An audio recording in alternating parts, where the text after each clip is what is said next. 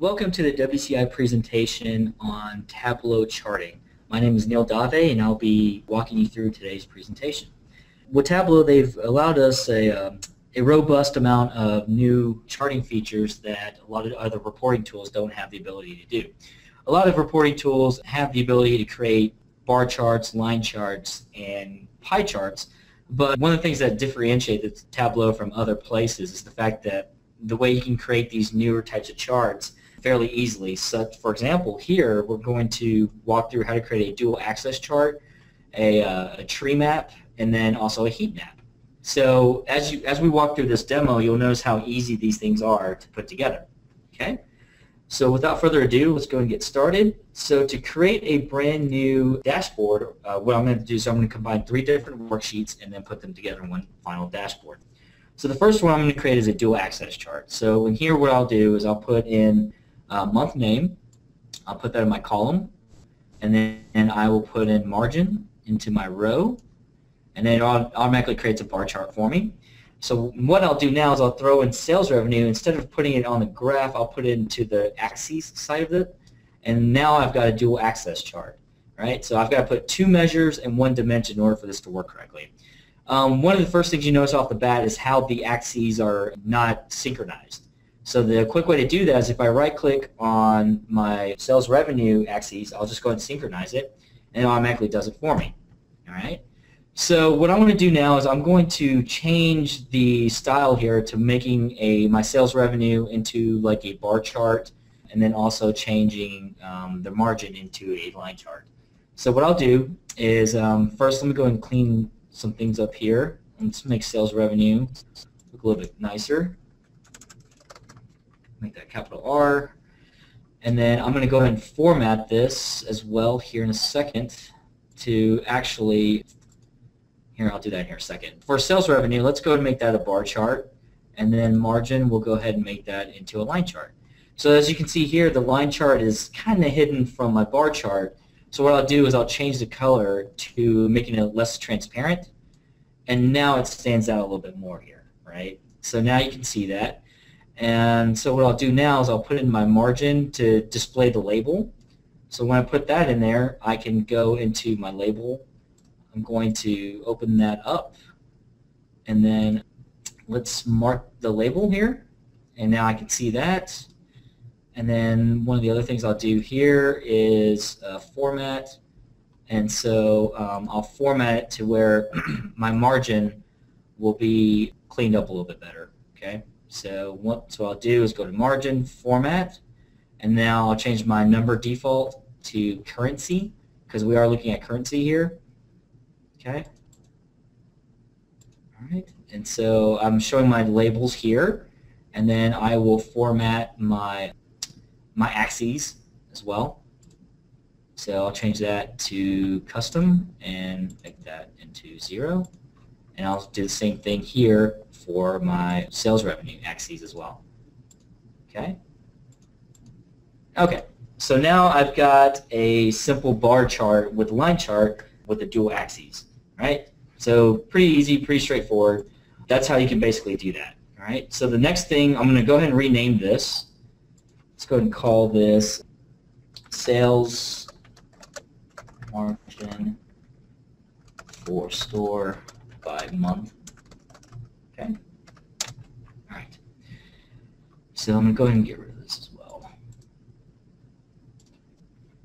Okay, so the second chart I'm going to create is a simple heat map.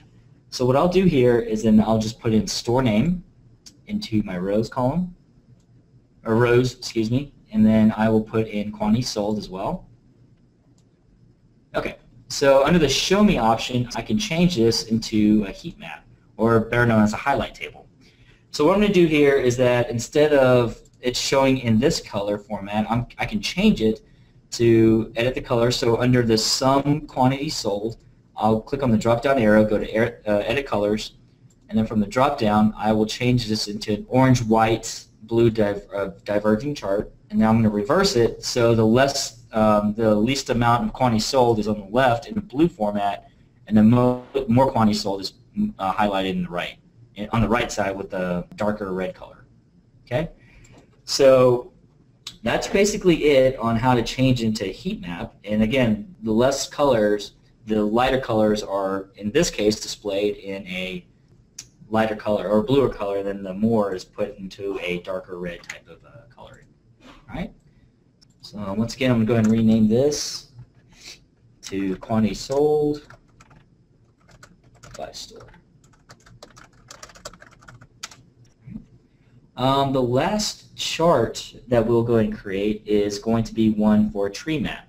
Okay, so what I'll do here is then I will put in year, quarter, and quantity sold. Okay, and then again I'll use the show me option here and I'll change that into a tree map. Okay, so again I'll change the coloring of this to um, I'm going to edit the color here. I'm going to reverse it first, and then I'm going to go and change it back to my orange, white, and blue. Okay. And then one of the things I want to do here is I want to display quantity sold. So what I'll do here is I can put quantity sold back into my label, and now you can see it right there. One of the final things I want to do is for like the year and quarter, I can just simply format it and change this to where quantity sold, I just want to put that onto one line, make it look a little bit nicer. All right. And so now I've got my quarter, my year and quarter on one line, and then my quantity sold down here. Okay.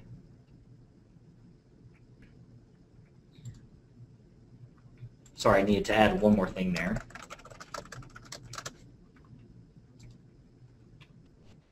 Okay, so that's my tree map. So basically what's going on here is that we have a quantity sold, the higher numbers are going to be displayed at the top left, and then the lower numbers are going to be displayed to the bottom right. So that's how a basic tree map works. All right. And so let me go ahead and rename this. We'll call this one quantity sold by quarter.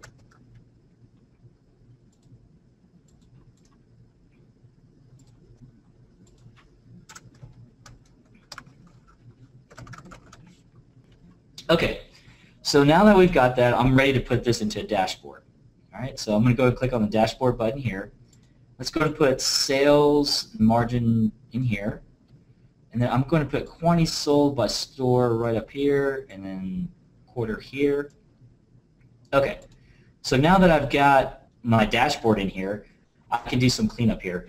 So in order to make this dashboard more interactive to where we can synchronize everything into one, what you can do is you can create a filter that actually filters out and makes it um, interchangeable within all three worksheets. So the way I can do that is I'm going to go back to my first one. And in this case, you know what? I'm going to create, I want to filter on year. And, and here I'll select all of them. And then store name as well. And I'll put that in the filters. Select all there. So I've got that. Okay, and then quantity sold. For my second one, I'll do the same thing here. I'll put year and store name. All right, and then the third option is again I'll do year and then um, store name again. Okay, so what I can do now is in my dashboard, I'm going, again, to make this interactive by simply adding those filters into my report. So what you can do is under the quick filters in the analysis dropdown, go to quick filters, and then I'm going to put in year, and then quantity sold. I'm sorry, store name. Okay, so now I'm going to move some of the things, some of these things around, right? So measure names for my margin and sales revenue pertains to my uh, axes chart, so do axis chart. So I'm going to just go and display that right there. And my quantity sold, I'm going to place that in here and move that around because that kind of shows my my uh, capabilities of my uh, chart here, of my top two charts here, my heat map and then my uh, tree map. Okay. So uh, what I want to do now is I want to make this, if I check some of these or uncheck them, notice that I am only seeing certain objects change here, right? But it's only pertaining to one specific um, worksheet.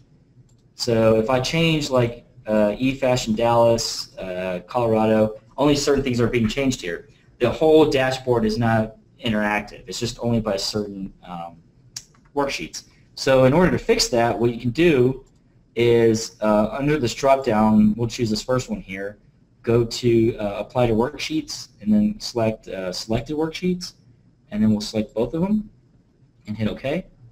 And then we'll perform the same action onto the year filter. We'll select all of them as well. Okay, so now when I uncheck, let's only look at uh, 2001. Notice that how my numbers change here.